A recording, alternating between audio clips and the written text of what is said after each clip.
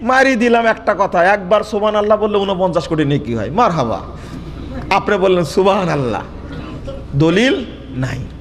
ভুয়া দলিল। আল্লাহর নবী সুবান আল্লাহর মর্যাদা বাড়ালেন এতটাই। সই মুসলিম একশো আঠারো বিশটা প্রথম ঘণ্টার খুলেন।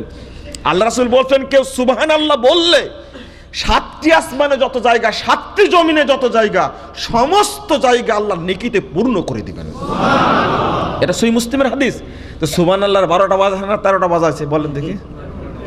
হ্যাঁ? তেরোটা বাজাইছে, বারোটা তো অনেক আগেই বাজাইছে, এখন তেরোটা বাজাইছে। আপনার এক সুমান আল্লাহ দ্বারা এই নেকি দ্বারা উনপঞ্চাশ কোটি নেকি দ্বারা ইমামা ক্যাম্প ভর্তি হবে? হ্যাঁ? আসমান থেকে জমির পর্যন্ত ভর্তি হবে?